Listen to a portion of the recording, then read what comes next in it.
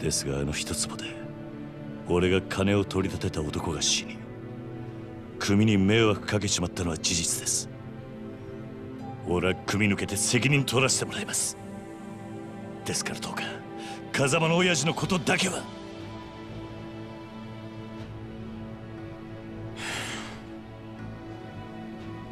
さあ飯でも食うか。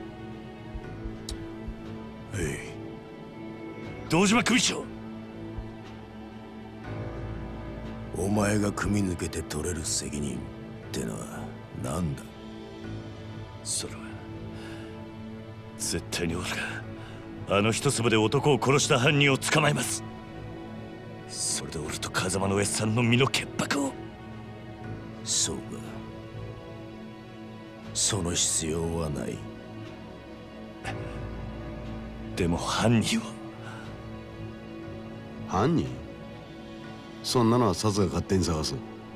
お前はもう仇だ。それじゃけじめがつきません。けじめ？だからてめえは仇だろうが。今さらごちゃごちゃうるせえんだ。お前は自分の不手際があると認めるところはあるんだろう。はい。少なくとも自分があの場所で追い込みかけなければひょっとしたらこんなことには。だから波紋を申し出た。そうです。安心しろ。けじめならきっちり取ってもらうさ。え？風間が拾ってきたガキ。桐生。お前の不手際であの土地に手が出しづらくなっちまった。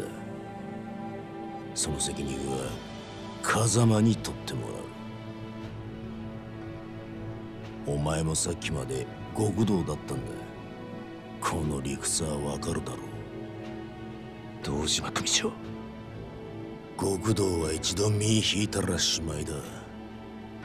お前は仇として幸せになる道でも探すんだな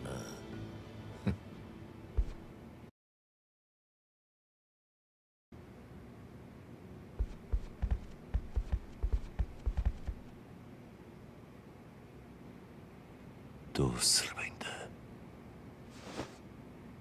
じゃあ俺はどうすればいいんだ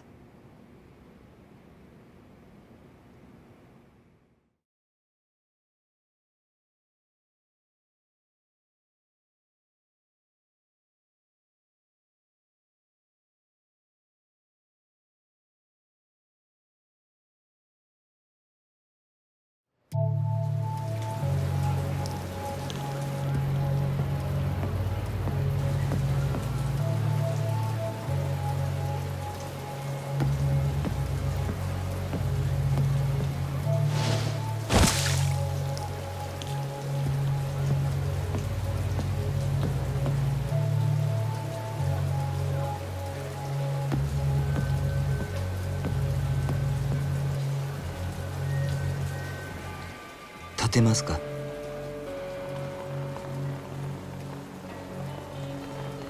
このままだと風邪をひいてしまいますよ。私は立花と申します。立花？あなたが今置かれている状況は全て承知しています。私はあなたと会うこの時をずっと前から待っていたんです。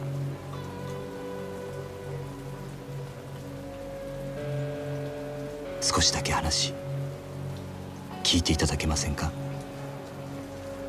桐生一馬さん。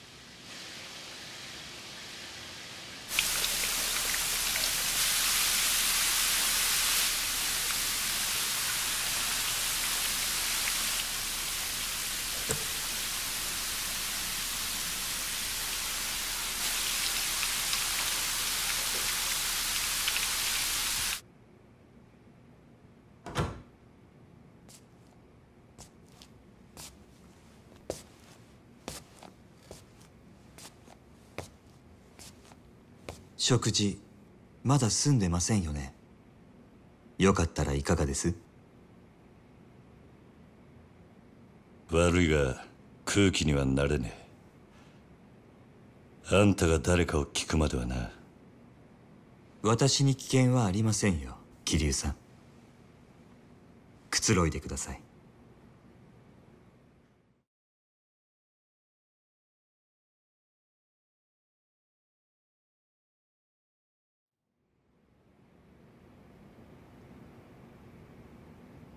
俺の服は？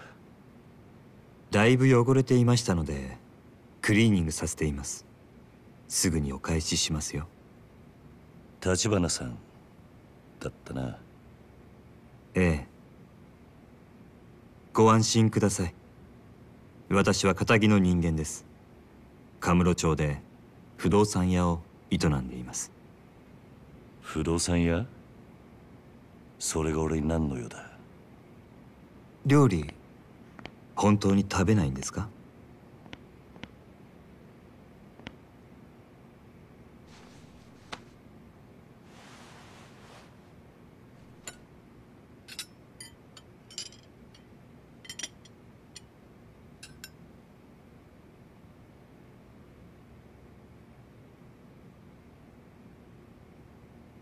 右手は義手です。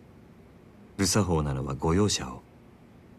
数年前に失ってから寒くなると痛みます。不思議なものでないはずの指先までうずいて鎮痛剤も効きません。四六時中痛みを我慢するだけです。でも痛みを顔に出すのは面倒なんでやめました。そんなことは聞いてね。桐生さんは登場過剰という言葉を知ってますか？登場？登場過剰いくつもの花が集まって大きな一つの花になっているものをそう言います。実はあなたもよくご存知のある花もその登場過剰でしてね。何の話をしてる？ひまわりですよ。ひまわりのあの大きな花はたくさんの小さな花の集まりなんです。子供が集まる養護施設につけるにはいい名前です風間さんがひまわりと名付けたんですか？あんた一体？